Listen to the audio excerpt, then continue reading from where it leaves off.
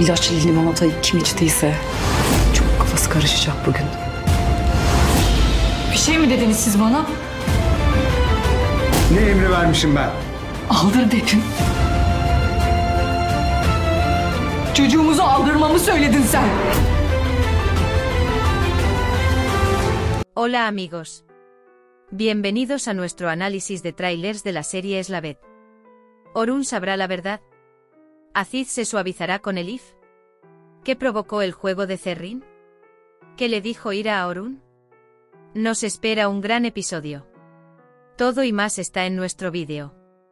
No olvides suscribirte y activar las notificaciones mientras miras. Zerrin esperaba impacientemente que Defne bebiera la limonada medicinal, se mareara y se acercara a Orun. Pero sucedió algo inesperado. Ira bebió la limonada, no Defne. Zerrin inmediatamente se alarmó porque conocía los efectos secundarios del medicamento que puso en la limonada.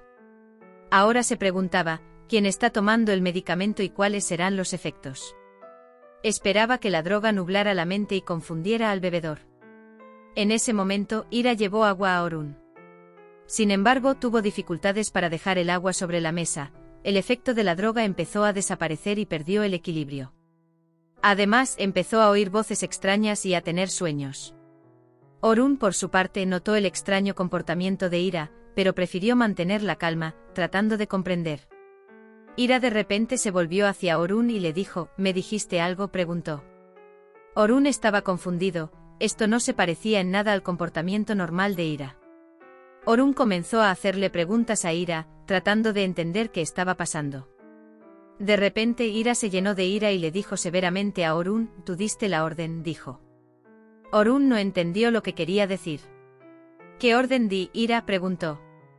Pero cuando Ira respondiera a esta pregunta, le daría a Orun un gran shock. Me dijiste que abortara a nuestro hijo. Dijiste que abortáramos, gritó. Orun se quedó helado cuando escuchó estas palabras. En ese momento se dio cuenta de que su madre Afife estaba interfiriendo con Ira. Poco a poco empezó a comprender que ella estaba interfiriendo incluso en sus decisiones más privadas. Mientras tanto, en otro lugar, Elif intentaba calmar al padre de Aziz, que padecía demencia. La actitud suave y gentil de Elif calmó la ira de Aziz. La presencia de Elif comenzó a suavizar el corazón de Aziz. Sin embargo, a la hermana de Aziz no le gustó nada esta situación. Se volvió hacia Elif y le dijo con severidad, levántate y regresa a tu cobertizo de carbón. Yo cuidaré de mi padre, dijo. Pero Aziz no dejó ir a Elif. Mirando a Elif, murmuró, déjalo. Allí, en diferentes frentes, todos estos secretos y enojos fueron lentamente saliendo a la superficie. Todos estaban a punto de enfrentar las verdades ocultas. Hemos llegado al final de otro vídeo. No olvides suscribirte y activar las notificaciones. Cuídate. Adiós.